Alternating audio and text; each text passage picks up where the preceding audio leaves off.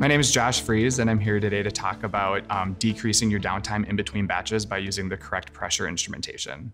So the Rosemount 3051 HT has been specifically designed for use in different types of food and beverage or life science applications. And it has also been specifically designed to deal with unique challenges posed by CIP and SIP cleaning processes. CIP stands for clean in place and SIP stands for sterilize in place. The elevated temperatures used in CIP or SIP processes, as well as the very quick fluctuations in those temperatures, can sometimes cause pressure instruments to drift out of specification.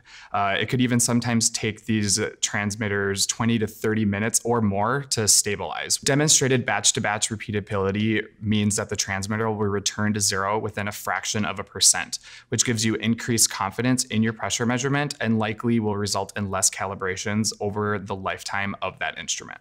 Additional diagnostic capability is available, which can detect any ingress of water that may be happening, which could compromise the integrity of your 4 to 20 milliamp loop.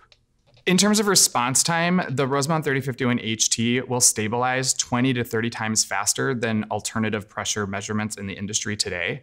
Uh, and what this does for you is it decreases the amount of time that you have to wait to start up your next batch.